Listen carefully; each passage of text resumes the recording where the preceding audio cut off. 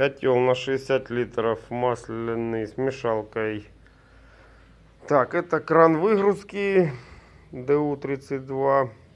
Это уровень масла, это терморегулятор. Это поворотный штурвал, мешалка, крышка с двух половинок, мешалка со скрипками.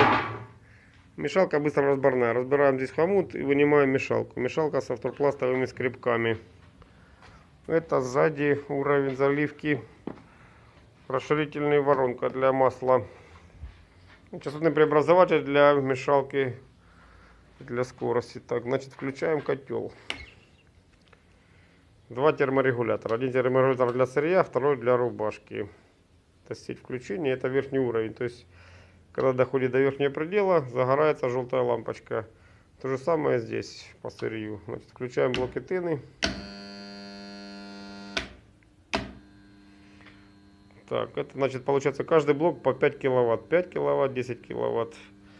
И значит, это терморегулятор для отсечения температуры. То есть если дойдет до верхнего предела, включится авария, загорится лампочка. Так, масло греется, по маслу понятно.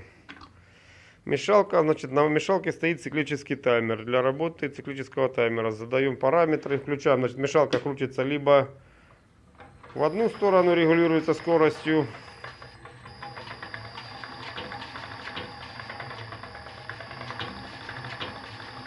Либо работает через циклический таймер. Циклический таймер, то есть включаем здесь таймер, включаем. Выставлено для показа 15-20 секунд. То есть через 15 секунд включится, потом 20 секунд отработает, отключится. И так, то есть можно задавать там до 10 порогов.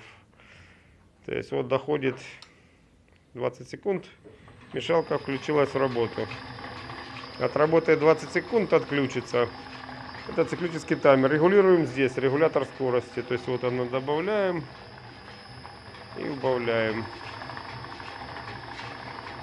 Так, мешалка, значит, сейчас отщелкнет. Вот отщелк. Сейчас 15 секунд, мешалка включится в работу. То есть тут, в принципе, можно задавать любые временные рамки. Какие там минуты, часы. Вот, то есть получается, ну, шалка включилась в работу. Все, так, котел готов к работе.